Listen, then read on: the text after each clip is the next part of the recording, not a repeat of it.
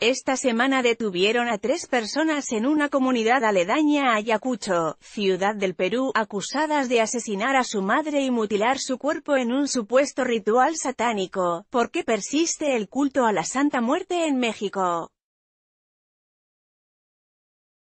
Los presuntos parricidas fueron identificados como Aurelia Condori, Percy Condori y Marcelina Quispe Saule.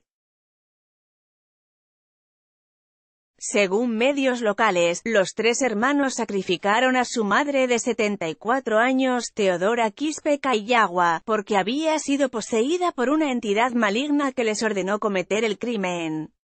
Aurelia Condori, la mayor de los hijos, condujo el ritual macabro. Además de quitarle la vida a la señora Quispe, le extirparon los ojos con un cuchillo y extrajeron sus órganos internos para darlos como ofrenda al amo del oscuro.